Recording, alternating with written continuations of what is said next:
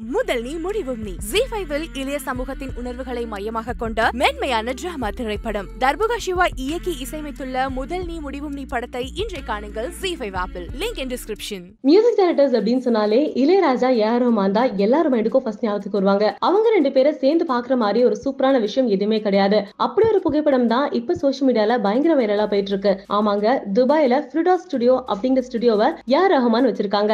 அவங்களோட ஸ்டுடியோவுக்கு நம்ம maestro Ilaiyaraaja visit பண்ணிருக்காரு. ஒரு குட்டி கான்வர்சேஷன் இருந்திருக்கு. அந்த அழகான புகைப்படத்தை நம்ம யாரோமான் அவங்களோட சோஷியல் மீடியாவில் ஷேர் பண்ணது மட்டும் இல்லாம மாஸ்டோ இளையராஜாவை எங்க ஸ்டுடியோ கிடைக்கிறதுல ரொம்ப சந்தோஷமா இருக்கு பிளஷரா இருக்கு. கூடிய சீக்கிரமா இந்த ஸ்டுடியோல அவர் இசையமைப்பாரு அப்படின்னு நினைக்கிறேன் அப்படிங்கிற மாதிரி போட்டிருக்காரு.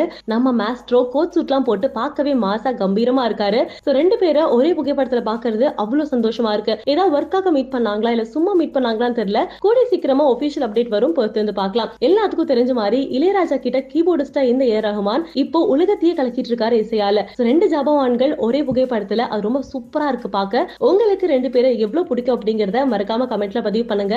இந்த மாதிரி சினிமா அப்டேட்ஸ்க்காக மறக்காம சினி உலகத்துக்கு லைக் பண்ணுங்க ஷேர் பண்ணுங்க சப்ஸ்கிரைப் பண்ணுங்க. கிரிட்டிசைஸ் பண்ணுறவனுக்கு நன்றி சொல்லணும். இன்னைக்கு என் பிள்ளை இந்த உச்சத்தில் இருக்காரு. ஏதோ ஒருத்தன் இந்த மூஞ்சியை பார்க்க முடியுமான்னு ஒருத்தன் சொல்லிட்டான். இந்த மூஞ்சியை நீ பார்த்தாண்டா ஆகணும்னு திரும்பி திரும்பி படம் எடுத்தல இந்த மூஞ்சியை காசு கொடுத்து பார்க்க வேண்டுமான்னு ஒருத்தன் கேட்டான்.